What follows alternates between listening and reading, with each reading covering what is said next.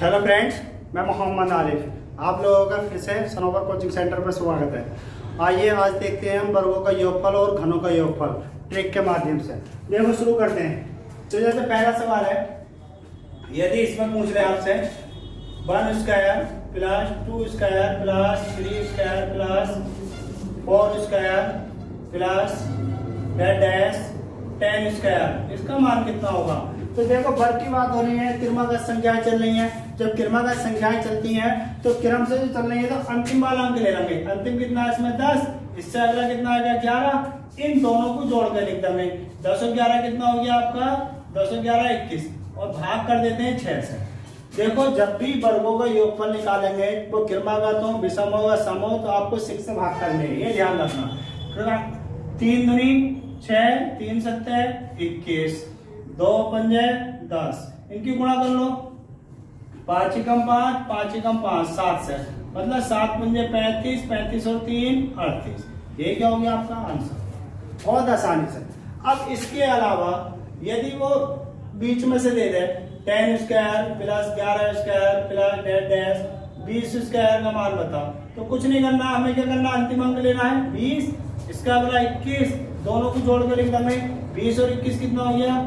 Forty one और बटे में कितना लिखना में? छ काट लो दो ढाई बीस। दो तीन छ तीन सत्तर।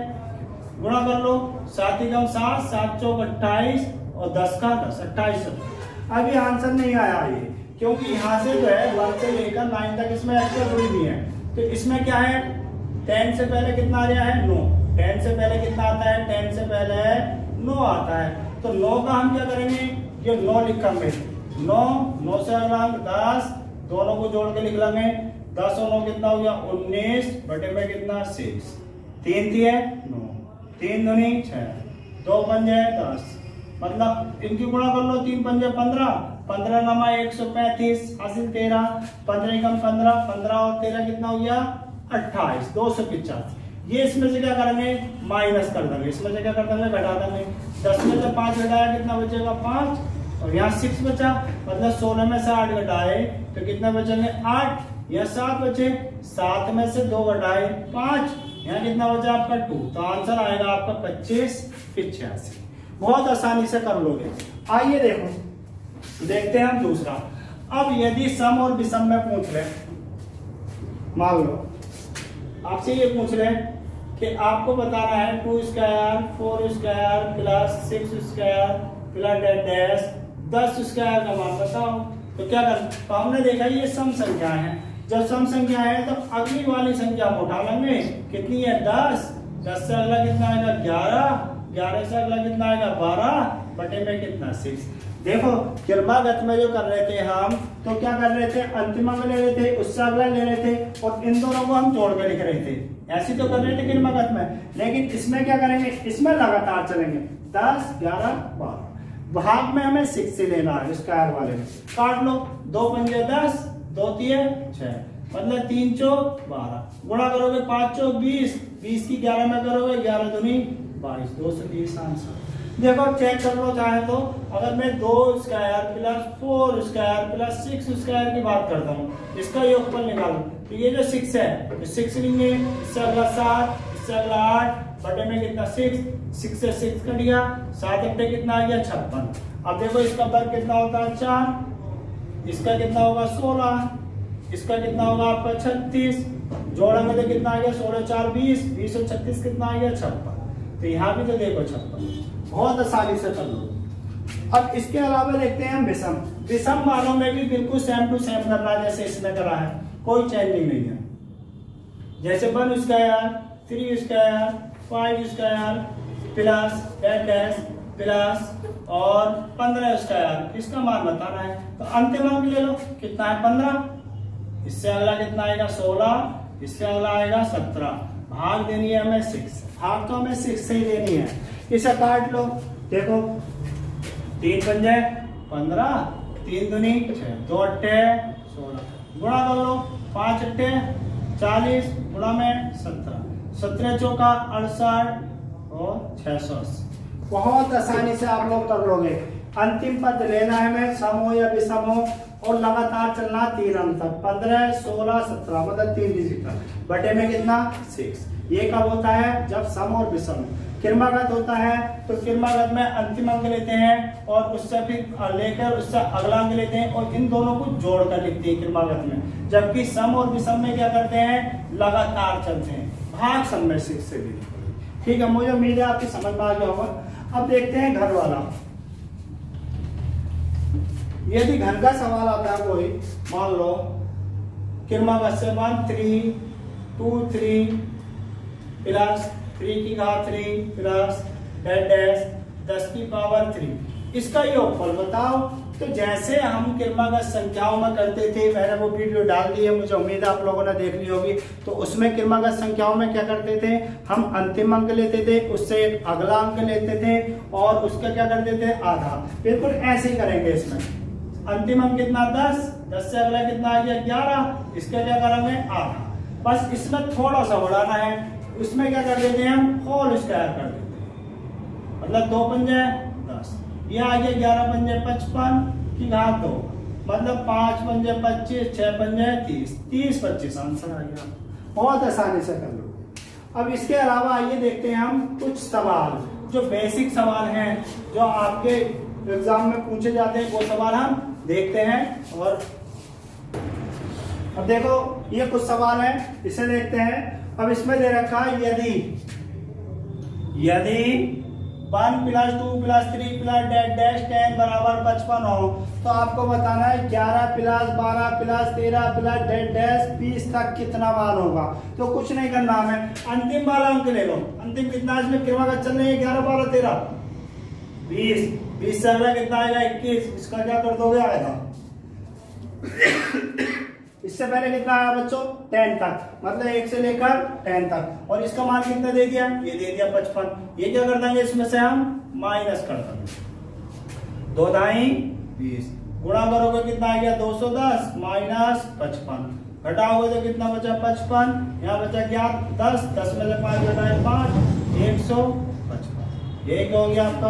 आंसर हो गया। है ऐसा। देखो, ये दे रखा है यदि one, two, three plus dot dash nineteen forty nine fifty फिर उनचास, अड़तालीस सैतालीस क्रम से घटते चले गए। इनका योगफल बताओ। तो हम दो डिजिट में बनाएँगे इसे। या तो इसे नाइनटीन तक बना लो या पचास तक। चलो, पचास तक बना लेंगे। ये बना लेते हैं हम। उनचास तक, और ये बनाते एक से तो एक से शुरू हुआ कहा था? पचास तक। पचास लिखो। अगला अंक कितना आएगा? इक्यावन। इसका आधा। प्लस की बात हो रही है, प्लस लिखो। ये एक से शुरू होकर कहा तक है? उनचास। उनचास लिखो, इससे अगला अंक कितना आएगा? पचास। बटे में कितना आएगा? तो हम दोनों सीरीजों में देखेंगे, इसमें भी पचास, इसमें भी। बटे में इसमें भी दो, इसमें भी दो। तो हम पचास बटे दो कॉमन नहीं ले सकते। जब कॉमन लेंगे तो यहाँ बचेगा इक्यावन, यहाँ बचेगा उनचास। सौ हो जाएगा? भाई, इक्यावन प्लस उनचास। अब इसे काटेंगे कितनी बार कटेगा? पच्चीस। पच्चीस की गुणा सौ में करोगे पच्चीस। सौ आंसर आ गया। पच्चीस। इन दोनों को जोड़ दिया तो कितना आ गया? सौ। और इनकी गुणा करोगे तो कितना आ गया आपका? पच्चीस। बहुत आसानी से, बहुत सरलता से आप कर लोगे। देखो, मैंने अंतिम अंक ले लिया पचास। इससे पचास से अगला आता है। इक्यावन इसका कर दिया आधा। इस बारे में देखने, एक से लेकर उनचास तक चल गया फोर्टी नाइन तक अंतिम अंक ले लिया मैंने फोर्टी नाइन, और इसका, इससे अगला ले लिया फिफ्टी, इसका कर दिया आधा। अब दोनों में पचास बटे दो, पचास बटे दो, कॉमन ले लिया। यहाँ से बचेगा इक्यावन और उनचास। इन्हें दोनों को जोड़ दिया। इसका आधा करा पच्चीस, इक्यावन और उनचास आ गया सौ। पच्चीस की उनचास की गुणा करी, पच्चीस सौ आपका आंसर आ गया। बहुत आसानी से आप यहाँ भी कर सकते हो, बिल्कुल, बिना पेन के यहाँ से पच्चीस आ गया, पच्चीस आ गया, इक्यावन उनचास जोड़ दोगे, उनचास। और सौ हो जाएगा, सौ की गुणा करोगे ट्वेंटी फाइव से। अब ये सवाल है, यदि सात क्रमित संपूर्णांकों का योगफल 140 है तो सबसे महत्वपूर्ण देखो, जो पूर्णांक, जो योगफल होता है तो जितनी भी संख्याएँ होती हैं, उससे अगर हम उस पूर्णांक के जो योगफल दे रखा, उसे भाग देंगे डिवाइड करेंगे तो आपकी बीच की संख्या निकलेगी। अगर मैं 140 बीच में लिख दू, संख्याएँ कितनी है इसमें? सात है। कितनी संख्याएँ हैं? सात। सात से भाग कर दो। तो सात है तो तीन इधर होंगे इसके, और तीन ही इधर होंगे होंगे नहीं भाई। एक, दो, तीन, चार, पाँच, छह, सात। सात है नहीं। तो बड़ी वाली पूछ लिया इससे अगर मैं काटूँगा कितना कटेगा? ये बीस आ रहा। सात दूनी चौदह यहाँ बीस हो गई। बात करिए उसने सम की। तो सम संख्या जो दो से विभाजित होती है, दो का अंतर होगा। बीस के बाद कितना आएगा? बाईस। बाईस के बाद चौबीस। चौबीस के बाद छब्बीस। अर्थात सबसे बड़ी संख्या क्या आ गई? छब्बीस आ गई।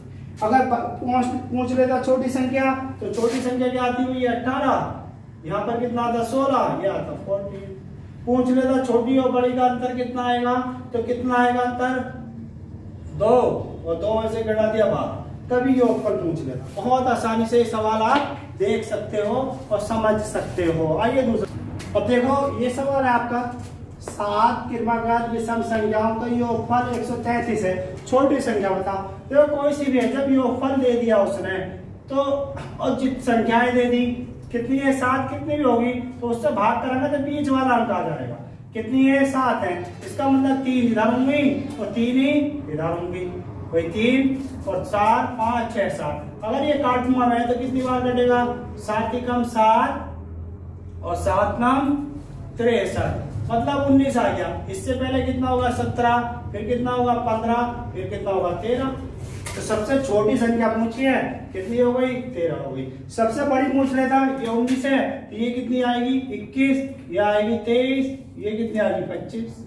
बहुत आसान है, नहीं। अंतर पूछ ले योगफल पूछ ले कुछ भी पूछ ले अगला सवाल देखो, दे रखा है उसमें क्वेश्चन प्रथम पंद्रह विषम संख्याओं का योग योगफल बताओ।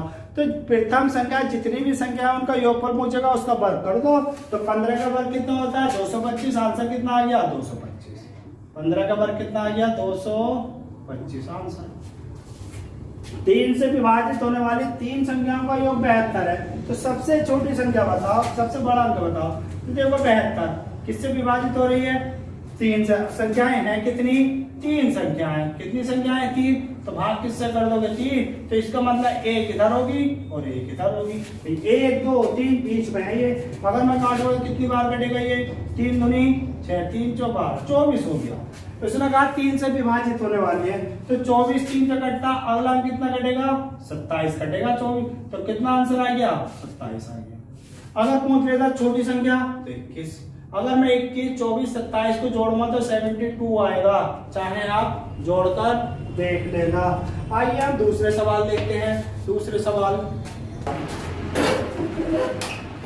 देखो। अब ये सवाल है, इसका आपको योगफल बताना है। मतलब नौ, सोलह, प्लस पच्चीस, प्लस डैश होता अब हम देखेंगे, अगर जोड़ेंगे तो टाइम ज़्यादा लगेगा तो इस पे वर्ग बनने आए किसका वर्ग बनने आया तीन का वर्ग बनने आया ये बन गया चार का वर्ग, ये बन गया है आपका पाँच का वर्ग डैश डैश और ये बन गया दस। इसका मतलब तीन से लेकर दस तक संख्याओं का योग पर पूछ रहा क्रमागत चल रही है। तीन, चार, पाँच, छह तो ऐसी कंडीशन में क्या करेंगे हम? जो भी अंतिम अंग है, वो ले लेंगे कितना है भाई? दस। दस से अगला अंक कितना आएगा ग्यारह। जब क्रमागत संख्याएँ चलती हैं तो क्या करते हैं? इन दोनों को हम जोड़कर लिख देते हैं। ये मैं आपको बता चुका हूँ पहले। तो दस और ग्यारह कितना हो गया? इक्कीस। भाग किससे देना में? छह से। काट लो इसे। तीन दुनी, छह। तीन सत्तर, इक्कीस। मतलब दो बन जाए दस। गुणा कर लो। सात। पाँच ही पाँच पैंतीस। मतलब ग्यारह पंजे पचपन और ग्यारह तैतीस तैतीस और पाँच, अड़तीस। ग्यारह पंजे पचपन, गुणा में सात। मतलब सात पंजे पैंतीस, सात पंजे पैंतीस पैंतीस और तीन, अड़तीस। तीन सौ पिचासी। लेकिन आंसर नहीं आया अभी है, क्योंकि यहाँ कहाँ से शुरू थी? इसका मतलब वन स्क्वायर और दो स्क्वायर ये इसमें एक्स्ट्रा जुड़ा हुआ होगा तो ये कितना हो जाएगा? एक ही कम एक दो दुनी चार अर्थात पाँच हो जाएगा। तो पाँच क्या कर दोगे इसमें से पाँच क्या करना पड़ेगा भाई माइनस करना पड़ेगा। तो आंसर आ जाएगा तीन सौ अस्सी। अगर ये भूल जाओ तो हमें पता है इससे पहले कितना आ रहा है? तो आ रहा है। ये तो कुछ कम है। अगर ज़्यादा आता तो क्या हो जाएगा कौन देगा पचास से पर, मतलब इक्यावन तिरपन इस तरीके से तो पीछे ही घटानी पड़ती। तो इससे पहले कितना अंक होगा हमारा? इससे पहले कितना होगा हमारा? संख्या दो होगी।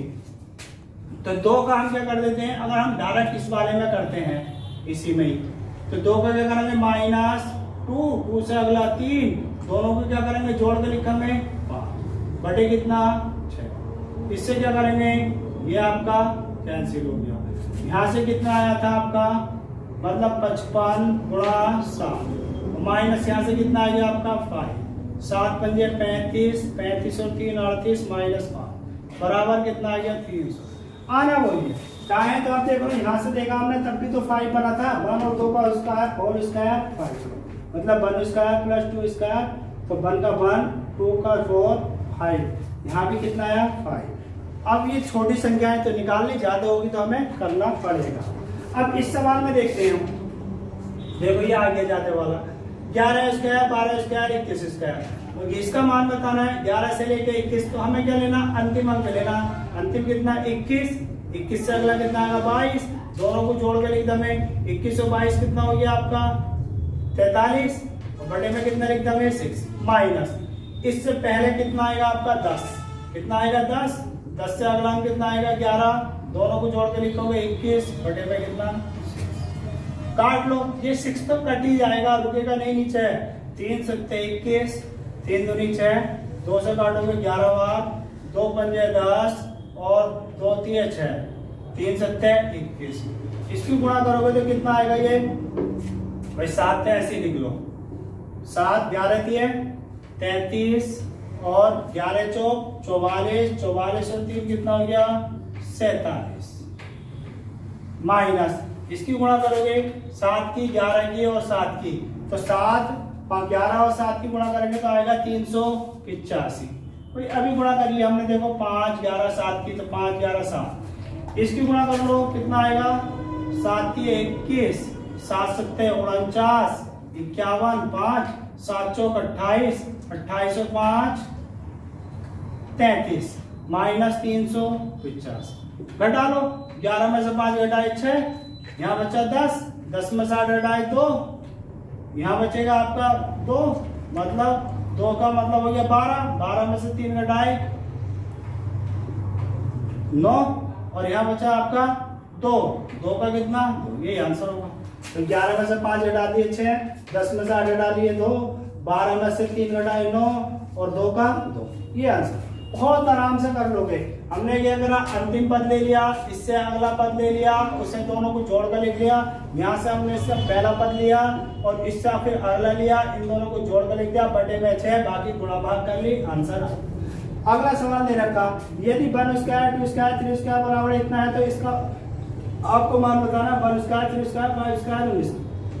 कुछ नहीं है, इसकी ज़रूरत ही नहीं पड़ेगी। इसकी क्या हमें ज़रूरत भी नहीं है। क्यों? क्योंकि हमने देखा one square three square five square dot dash ये विषम संख्याएँ चल रही हैं। और विषम की ट्रिक मैं आपको बता चुका हूँ। अगला पद लेते हैं हम लास्ट वाला। इससे अगला कितना होगा? बीस। इससे अगला कितना होगा? इक्कीस। बटे में कितना? से देखो, विषम हो या सम हो या लगातार चलती है। अगर क्रमागत होती है तो क्रमागत में क्या होगा? पहली संख्या लिखना अगली नंबर दोनों को जोड़ के लिखते हैं। लेकिन सम और विषम में क्या करते हैं? लगातार चलती है। उन्नीस, बीस, इक्कीस। तीन डिजिट पकड़ते हैं। बटे में छह आना। काट लो। तीन सत्ते इक्कीस। तीन दुनी छह। मतलब दो ढाई बीस। अगर मैं उन्नीस की सात की गुणा करूँगा तो आएगा एक सौ तैतीस। सात कम तिरसठ हासिल छह, सात ही कम सात सात छह तेरह और दस से गुणा करूँगा तो ज़ीरो आ गया। कितना आंसर आ गया? तेरह सौ तीस। बहुत आसानी से सवाल आप ये कर लोगे। अब देखो, अगले सवाल देखते हैं। इसमें अब ये घन वाले आ गए। तो घनों में देखेंगे हम तो one cube plus two cube plus three cube plus dash, नौ क्यू प्लस टेन क्यू मतलब एक से लेकर दस तक आपकी क्रम संख्या है, लेकिन है किसमें? घन में। इसका क्या पूछा? योगफल। तो इसका योगफल निकालने के लिए मैंने ट्रिक बताई रखी आपको, जो जैसे क्रमागत संख्याओं का हम निकालते थे मतलब अंतिम अंक लेते थे, उसमें एक जोड़ कर लिख देते थे बड्डे में दो लिखते थे, बिल्कुल ऐसे करना, बस एक चीज़ बढ़ानी है इसमें को देख लेते हैं। अंतिम अंक कितना इसमें? दस। दस से अगला कितना आएगा? ग्यारह। इसका क्या कर देंगे? आधा। और इसका कर देंगे होल स्क्वायर बस ये होल स्क्वायर बढ़ाना है अब देखो दो पंजे दस। मतलब ग्यारह पंजे पचपन। पचपन का होल स्क्वायर तो इसका मान कितना आता है पच्चीस। और छह पंजे तीस। कितना आ गया? तीस, पच्चीस। बहुत आसानी से। अगला सवाल देखते हैं। Five cube six cube plus dot dot दस क्यूब का मान बताना। तो अगर मैं निकालूँगा तो यहाँ मैं देखूँगा, अंतिम अंक कितना है इसमें? दस। दस। दस से अगला कितना? ग्यारह। बटे में कितना? दो। इसका क्या करूँगा? होल इसका। माइनस इसमें क्या भाई शुरू में यहाँ पर? यहाँ कितना है? पाँच। तो इसका मतलब एक से लेकर चार तक तो इसमें एक्स्ट्रा है। तो पाँच से पहले कितना आएगा? पाँच से पहले। पहले हम ले रहे हैं। फाइव और फाइव से पहले कितना आएगा? चार। क्रमागत है देखो, अंतिम वाली ले ली, इसमें अगला को ले लिया, आधा कर लिया। जैसे हम क्रमागत संख्याओं में करते थे। इसमें क्या करा, शुरू की संख्या ले ली, इससे पहले ले लिया, और इसका क्या कर दिया, आधा। इसका कर दिया और स्क्वायर दो दुनी, चार। दो पंजे, दस। मतलब ग्यारह पंजे, पचपन। पचपन का आ गया और स्क्वायर और ये पाँच दुनी, दस। दस का आ गया और स्क्वायर पचपन का वर्ग कितना होता है पच्चीस। और छह पंजे, तीस। देखो, जिसमें इकाई का मान पाँच होता है तो पच्चीस तो आने ही है जब वर्ग करते हैं तो। और साथ में जो ढाई का मान होता है उससे अगले अंक में गुणा कर देते हैं। जैसे पाँच है तो पाँच का पारा हमने छह में पढ़ दिया, छह पंजे तीस। मान लो अगर पैंसठ होता, पैंसठ का अगर मैं वर्ग निकालूँगा तो पच्चीस तो हमें लिखना ही है इसमें फाइव आ गया तो। अब ये सिक्स जो है, इससे अगले अंक लेकर पहाड़ा करूँगा मतलब छह सत्ते बयानवे ये वर्ग होगा। अब इसमें क्या है? इसमें हमारा पचपन है, पाँच पंजे पच्चीस, छह पंजे। और दस ढाई कितना हो गया? अगर मैं पच्चीस सौ पच्चीस में से सौ घटाऊँगा तो कितना बचेगा भाई? उनतीस, पच्चीस। बहुत आसान है। अगला सवाल दे रखा उसने। यदि one cube, two cube plus dash cube, ten cube का मान इतना है तो आपको बताना चार, बत्तीस कितने का मान अब हम देखेंगे ना तो ये वर्ग बन गया ना घन तो यहाँ से हम चार कॉमन ले लेंगे। तो चार कॉमन लूँगा तो कितना आएगा? वन, और यहाँ से आएगा चार अट्ठे बत्तीस, और चार दुनिया आठ, चार चार सत्तर अट्ठाईस प्लस डैश डैश, चार ही कम चार। यहाँ से बचेगा एक हज़ार। अब इसमें देखो तो ये घन बन गया। घन का मतलब कितना आ गया? चार। वन की घात तीन, दो की घात तीन तीन की घात तीन प्लस डेट डैश, दस की घात तीन। और इसका मान कितना दे रखा है ये दे रखा। तीस, पच्चीस। तो अगर मैं इसकी जगह तीस, पच्चीस रख लूँगा तो कोई प्रॉब्लम निकालने की ज़रूरत थोड़ी है। तो चार पंजे बीस, चार दुनिया आठ दो दस, और चार थी बारह। आंसर कितना आ गया? अब ये तो हमने इतना बड़ा कर भी दिया। जब आपकी समझ में आ जाएगा तो इतना बड़ा थोड़ी करोगे। आपको पता है यहाँ से चार कॉमन ले लेंगे तो एक बचेगा, यहाँ कितना बचेगा? चार अट्ठे बत्तीस, आठ मतलब एक का क्यों? दो का क्यों? तो यहाँ सिर्फ़ चार कॉमन लेंगे और चार की गुणा इसमें कर देंगे। भाई, पहला अक्षर देख लिया, चार एकम चार, यहाँ दस का क्यों देख लिया?